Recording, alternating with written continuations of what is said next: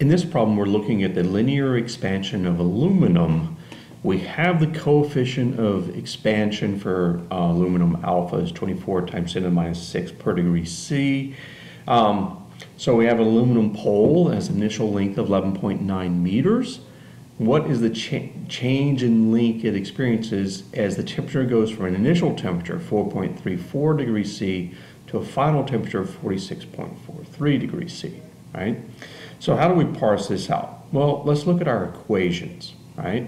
So thermal expansion, the change in length, the delta always means change. The change in length is alpha, alpha times length times delta T, and delta is always final minus initial, right? So delta T is final temperature minus initial temperature.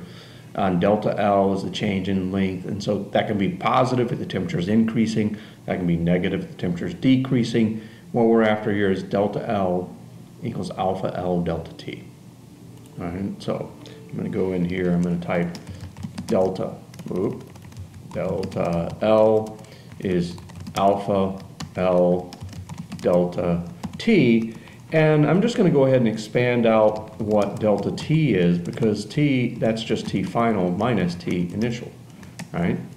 So our change in length, delta L, is going to be this alpha, 24 times 10 to the minus 6 um, per, right, per degree C, right?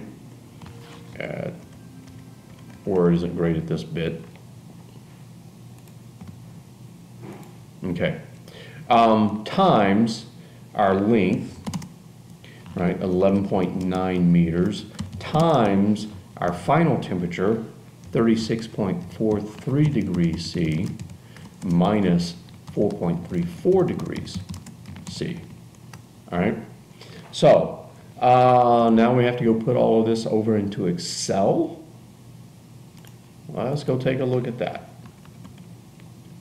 Uh, alpha, 24e minus 6. That's how you put in 24 times 10 to the minus 6 in Excel, 11.9 meters.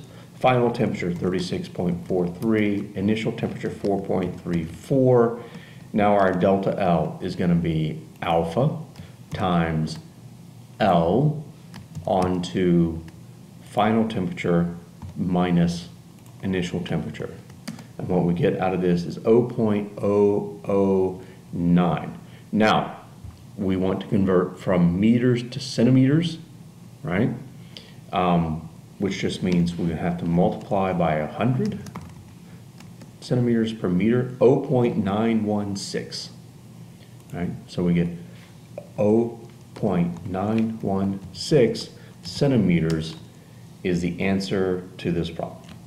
And there you go, that's number four.